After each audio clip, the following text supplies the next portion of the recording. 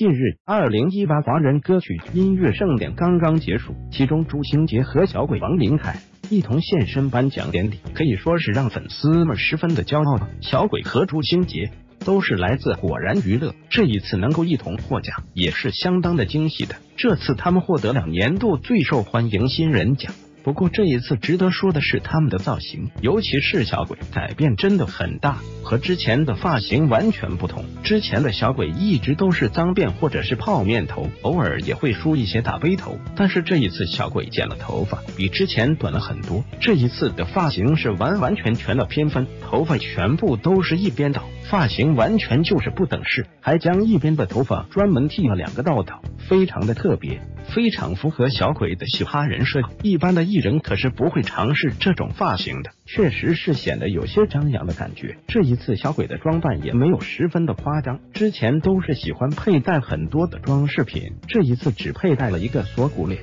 非常的简略。穿着一件黑色的带有印花的衬衫，感觉很是扎眼。最重要的是小鬼这一次还穿了吊，显得整个人都贵气了很多。不过一说到穿貂，我就想起了卜凡，还有就是夏天穿成这样，真的不会热吗？还有一位少年就是朱星杰了。这一次朱星杰的装扮没有什么太特别的，其实还是很简单的，而且非常的正式，穿着了一件白色的衬衫，还专门系了领带，外面穿了一件长款的休闲西装，显得整个人都非常的有绅士，而且这款发型也是很标志的。不过确实很像胡巴了，在表演的时候还戴了礼帽，搭配上这样的坏笑，却丝毫不觉得违和，反而还是觉得非常的绅士。大概这就是传说中的人格魅力吧。而且朱星杰这次的妆容也是很淡雅的，不过眉毛非常的硬气，挑眉也是非常的适合他的性格。而且不知道大家有没有发现，那些玩饶舌的说唱歌手都很喜欢这样坏笑的。